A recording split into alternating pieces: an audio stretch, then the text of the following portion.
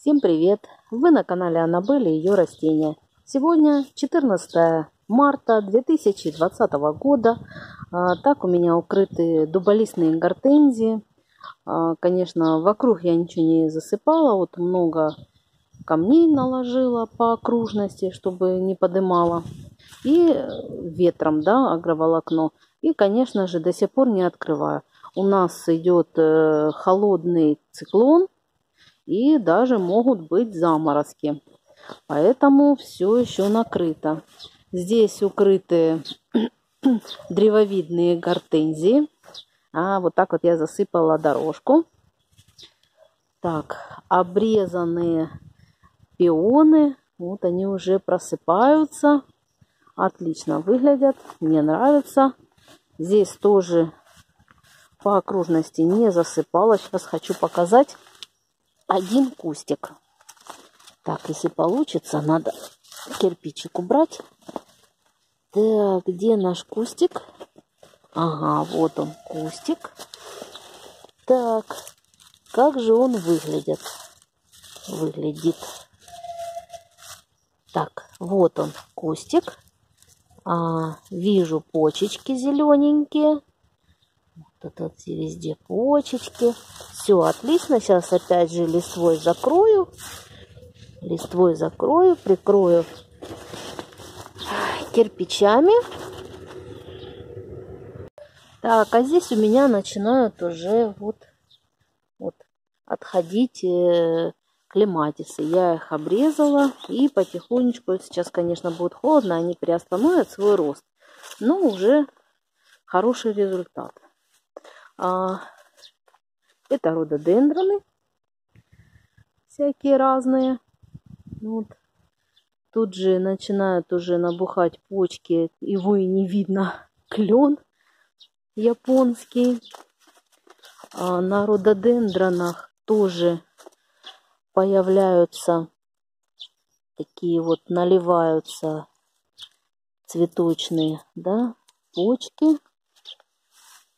И вот немножко такие вот жилистые листики. Это говорит о том, что а, я с э, этого рододендрона сняла агроволокно и, скорее всего, ободрала немножко, даже не немножко, а прилично сосущих корней. Но сейчас буду укоренителем проливать и восстанавливать, восстанавливать корневую.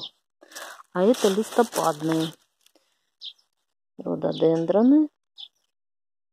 Так, листопадные, вот так они выглядят. Такие почечки. Увидим, как цветут. И новые сорта. А, еще у нас тут, а, вот тут метельчатые гортензии. Все закрыто. А это у нас пиерис. Пиерис, пиерис.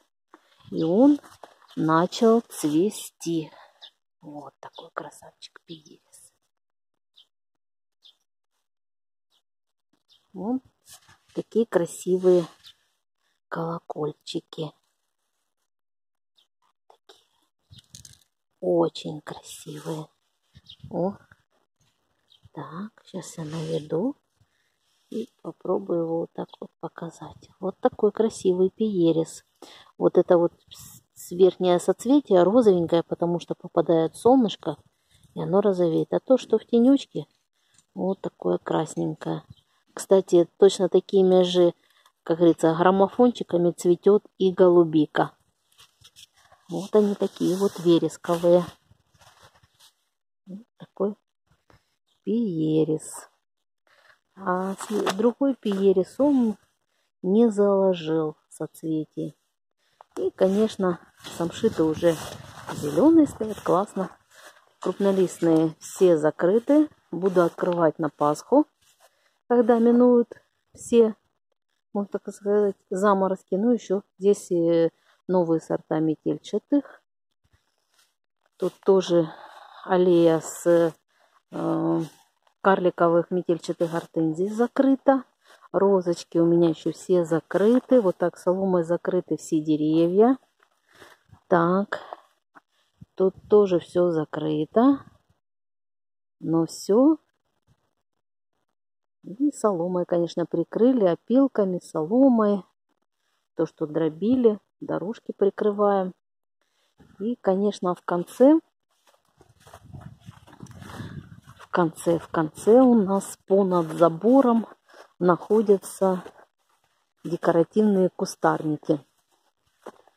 А лапчатка начинает отходить. Вот это белое, это у нас все яичная шкарлупа. Чтобы здесь не ползали наши замечательные слизни. Так, сиреньки. Вот такие вот сиреньки. Это сирень а, знамя Ленина. Знамя Ленина. Вот такая вот сиренька. Дейция.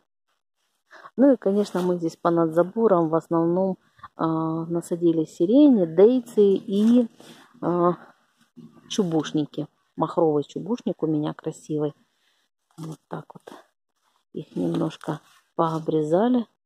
Может даже цвести будут. Это, скорее всего, цветочные почки. Они хорошо здесь себя чувствуют.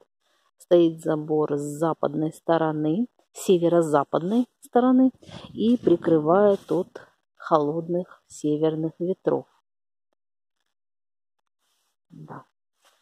Да, вот такие сиреньки сейчас стоят.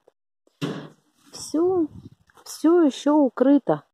Я не спешу ничего открывать, потому что, чтобы не было такой же беды, как в прошлом году, когда я рано открыла, поспешила, рано открыла, и получилось, что подмерзли почки, почки начали выдвигаться, а была еврейская Пасха, и все подмерзло. Так что ничего не спешу открывать. Все, всем спасибо, всем пока. Встретимся в новом видео. Пока-пока.